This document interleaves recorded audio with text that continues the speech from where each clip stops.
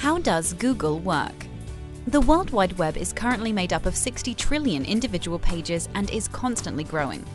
So how is it that Google can search all of these pages in less than a second and find exactly what you want? Well, interestingly, Google doesn't actually search the web. When you type a search term into Google, it actually searches its own internal database, known as the index. The index is like a giant filing cabinet that contains a summary sheet for each of the trillions of web pages. To create the index, Google has programs called spiders that constantly crawl around the web and record information about web pages like keywords, hyperlinks, and content quality.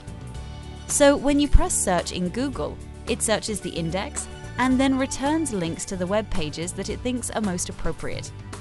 Although the index is considerably smaller than the internet, it still contains over 100 million gigabytes of information. So returning fast search results still requires a giant infrastructure of data centers and servers. Google's infrastructure is so powerful that it can handle 100,000 servers all simultaneously exchanging data at 10 gigabytes per second. That's enough processing power to read the scanned contents of the Library of Congress, which takes up 838 miles of bookshelves in just one tenth of a second. But it's not just the hardware that makes Google so fast.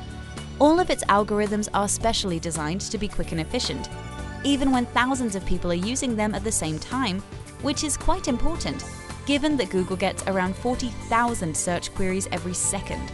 That's around a football stadium full of people using Google every second. So how does Google find what you want? The search algorithm that Google uses to sort web pages is constantly evolving. When Google was founded in 1998, its algorithm primarily relied on two key factors to rank web pages the number of keywords on a page and the number of inbound hyperlinks. However, since then, the algorithm has been modified thousands and thousands of times, and it now uses over 200 factors to rank web pages, including things like domain name, page layout, usability, reading level, loading speed, etc. To test algorithm modifications, Google constantly run hundreds of experiments.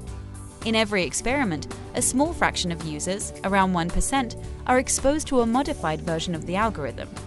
This might be a small modification like modifying the weighting of a key factor, or it could be a large change like completely recoding the algorithm.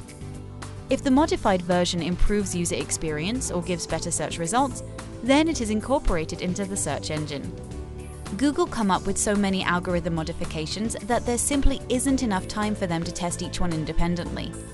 Instead, they make multiple changes to the algorithm at the same time, and then use statistical analysis to determine which modifications improve search results.